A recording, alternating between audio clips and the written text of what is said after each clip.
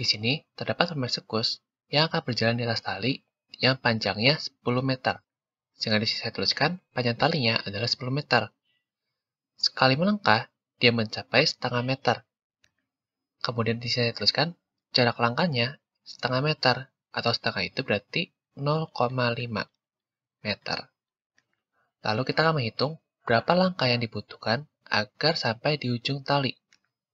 Untuk mendapatkan banyak langkahnya, kita lihat bagi panjang tali dengan jarak langkahnya. Sehingga di sini, panjang talinya itu 10 meter. Dibagi dengan jarak langkahnya 0,5 meter. Atau di sini dapat kita tuliskan 10 meter dibagi dengan 0,5 itu berarti 5 per 10 meter.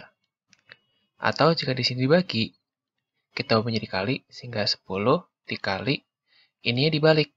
10 menjadi di atas, 5-nya menjadi di bawah.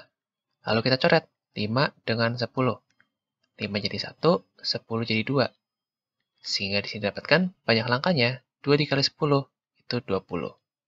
Sehingga banyak langkah yang dibutuhkan agar sampai di tali adalah 20 langkah. Sekian untuk kali ini, sampai jumpa di pertemuan berikutnya.